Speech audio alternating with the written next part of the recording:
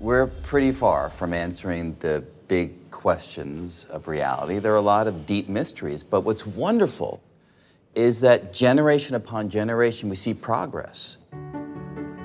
We want to understand not just how we came to be here, we want to understand is there some meaning, is there some purpose? How do we understand this fundamental religious impulse? How do I grow up to be the person that I'll be proud of and who can, you know, be a positive influence on other people? Socrates said the unexamined life is not worth living.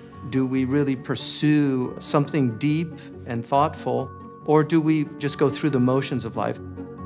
My grandfather created the John Templeton Foundation in 1987. The mission of the John Templeton Foundation is to fund academic research and civil dialogue about the biggest, most perplexing questions to humankind. We do not have the answers to the questions that we're asking.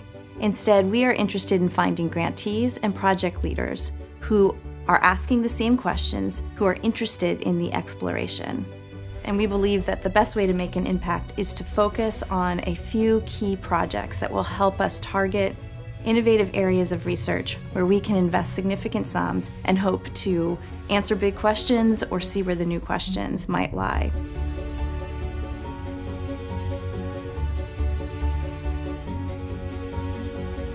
Psychology, the field that has been long interested in learning, in biology, the field that has been long interested in inheritance, should really get together, and in cultural evolutionary studies is where they could get together.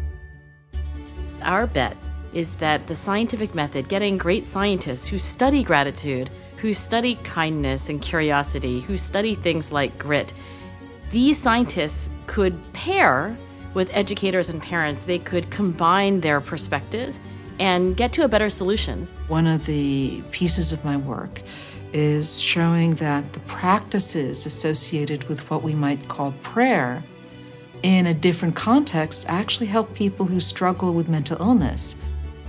The ancients were obsessed with this idea of wisdom and pursuing wisdom.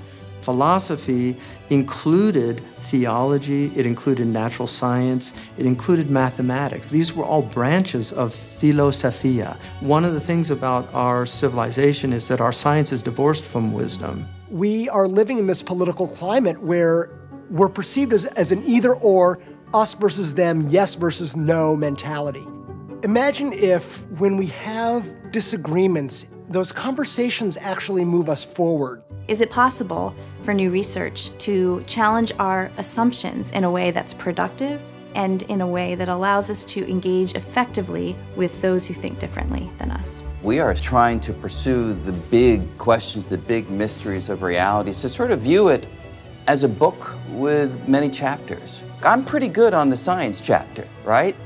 But the other chapters are so rich and varied that it's wonderful for me to engage with people who spent their lives thinking about those chapters, reading those chapters, writing those chapters. The only way that we can cultivate our faculties of reason is to have the humility to recognize that our first impulsive, passionate opinions may be wrong.